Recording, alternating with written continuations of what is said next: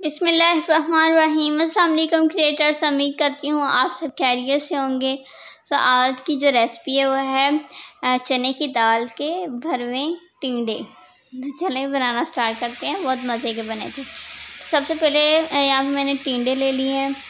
तो उसको पहले छील लेंगे, उसके बाद इस तरह से कट करेंगे। आप बस देखते जाएँ। उसके बाद इसके अंदर जो भी होता है ना, उसको निकाल देना है। ऐसे थोड़ा एहतियात से करना पड़ता है। निकल जाता है थोड़ा एहतियात करना पड़ता है टूट भी सकता है। बस इस तरह से हमने इसको निकाल लेना है और खाली कर लेना है। ताकि जो भी हम इसके लिए मसाला इसकी जो स्टफिंग रेडी करें वो इसके अंदर डाल सकें। ये देखिए इस तरह से ये खुल जाएगा और इसके अंदर जो हमने डालना है वो डाल सकते हैं। और वो जो है उसको वेस्ट नहीं करना उसको बताऊँगी कहाँ पे यूज़ करना है। तो ये जो चीज़ें चाहिए सारी मैंने लिख ली हैं। अब देख लीजिएगा। अच्छा यहाँ देखिए प्याज हैं। तीन लिए तीन प्याज लिए मैंने और दो टमाटर। इसमें से आधे प्याज और जो टमाटर के साथ वो हो जाएँगे पेस्ट बना लेना है। और ये एक कप दाल लिए चने की, जिसको उबाल लिया था मैंने। ठीक है।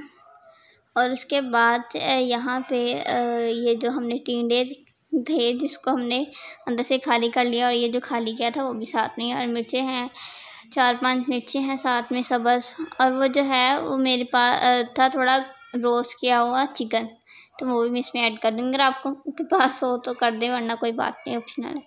यहाँ पे सबसे पहले लाल मिर्च है, एक चम्मच, कुटी लाल मिर्च है, एक चम्मच, हल्दी है, आधा चम्मच, और नमक हसब ज़ायका, आप को जितना हो, अदरक है एक चम्मच, गरम मसाला आधा चम्मच और कसूरी मेथी एक चम्मच।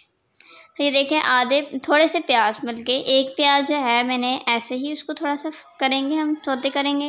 और बाकी दो टमाटर और जो बाकी प्याज हैं, दो उसको हम पेस्ट बना लेंगे। तो यहाँ पे ऑयल जाएगा, उसके बाद कर देंगे इसको, सोते करेंगे और ये टमाटर और प्याज का पेस्ट भी इसमें शामिल कर देंगे और इसको अच्छे से सोते कर लेंगे और इसका हल्का सा अच्छा सा कलर आ जाएगा। उसके बाद फिर बाकी मसाले वगैरह इसमें शामिल करेंगे। जिन लोगों ने अभी तक मेरे चैनल को सब्सक्राइब नहीं किया, वो देखिए सब्सक्राइब कर दे। बेल आइकन को ज़रूर प्रेस करें ताकि आप लोग को मज़े की इजी रेसिपीज़ वक्त पर मिलती रहें। बिल्कुल फ्री है, कोई पैसे नहीं लगते इसके। और लाइक करिएगा शेयर करिएगा और कमेंट में ज़रूर बताइएगा कि आप लोगों को रेसिपी कैसी लगी। तो ये देखिए, हमारे जो प्याज है, उसका कलर अच्छा सा आ चुका है और सोते हो गए बिल्कुल। उसके बाद फिर ये देखिए बस। इसके बाद हमने बस ये करना है कि जो हमारे पास मसाले थे, बस कसूरी मेथी को छोड़ के बाकी सारे इसमें शामिल कर देने हैं, नमक, मिर्च, धनिया अदरक, लहसुन, सारा कुछ। गरम मसाला।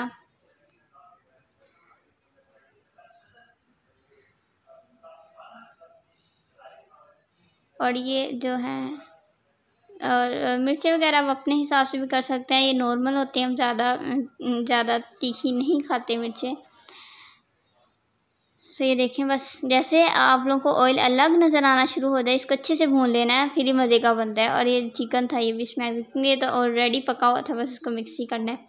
और चने की दाल भी, इसको चने की दाल को पहले आप लोगों ने ज़्यादा ही नहीं कर लेना, थोड़ी खड़ी खड़ी हो, तब इतनी ही रखनी है, क्योंकि उसको थोड़ा सा हम करेंगे तो फिर वो, फिर ज़्यादा ही पेशा बन जाएगा, इसे थोड़ा ध्यान रखना है।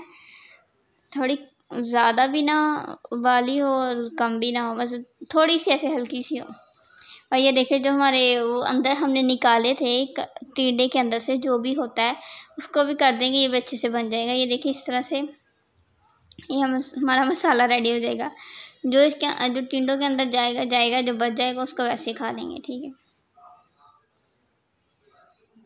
बस इसमें तो टाइम नहीं लगाया, क्योंकि हर चीज़ इसमें पकी हुई थी।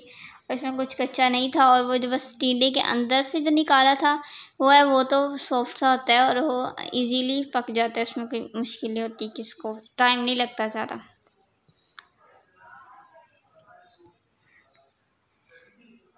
बहुत मज़े के बनेंगे, बहुत अच्छे बनते हैं।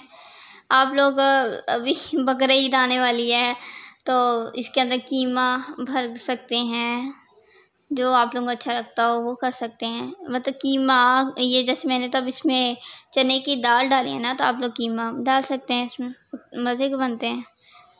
बस ये कसूरी मेथी लास्ट में जाएगी। बस इसको अच्छे से मिक्स कर देना। इससे होता है कि बहुत मज़े की खुशबू आती है।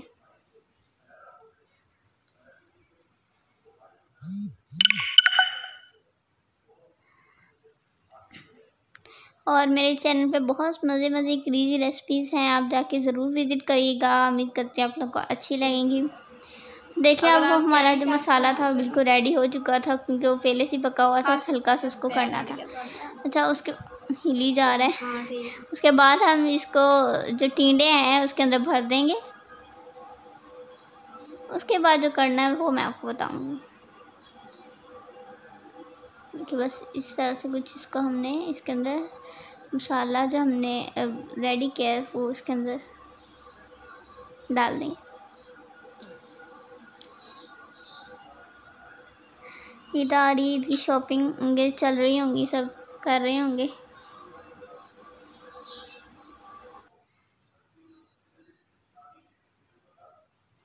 तो ये देखिए, यहाँ पे मैंने ऑयल ले लिया है।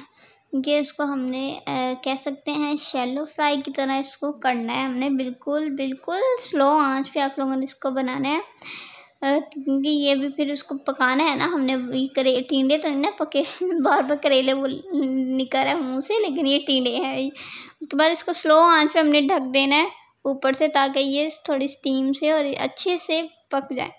और इसका उल्ट पुल्ट भी कर देना ताकि हर साइड से अच्छे से पक जाए, ये ना हो कि एक साइड से हो दूसरे से ना हो। ये देखें, नीचे से हो गए हैं, तब बाकी साइड से करना इस तरह से उल्ट पुल्ट कर देना है आप लोगों ने और आँच लो ही रखनी है, कुछ जल्दबाजी मत करिएगा, वरना हो सकता है कि आपके कच्ची रह जाए। ऐसे ही रहते नहीं हैं, जैसे ये थोड़ा सा ऑयल ऊपर ऊपर डाल दें। गरम गरम है ना। बस इसमें कोई टाइम नहीं लगता इजी है। पर थोड़ी थोड़ी टिप्स होती हैं जिसको फॉलो करना ज़रूरी होता है। आँच आप लोगों ने स्लो रखनी है। ऑयल इसलिए ऐसे वो हो रहा है क्योंकि ये गर्म है।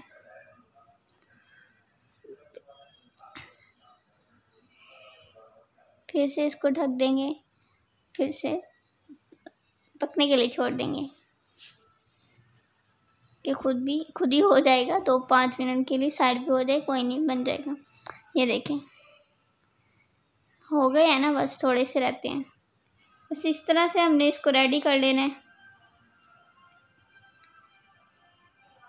फिर थोड़ी साइड पलट देंगे, जिसका आप लोगों को लगे कि इस साइड से थोड़ा रहता है, उस तरह से आपने इसको पलट देना है।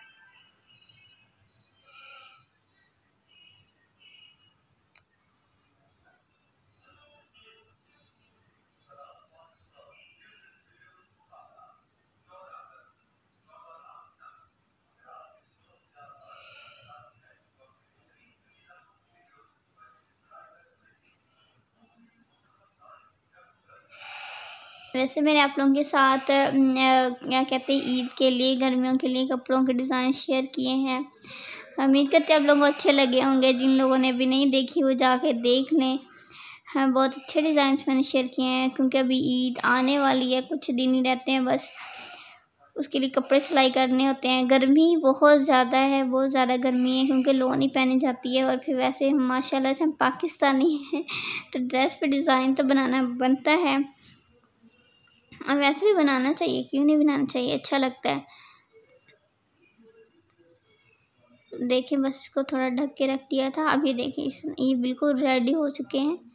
इस तरह से हमने इसको कर लेना है। बस अब इसको हम डिश आउट कर देंगे।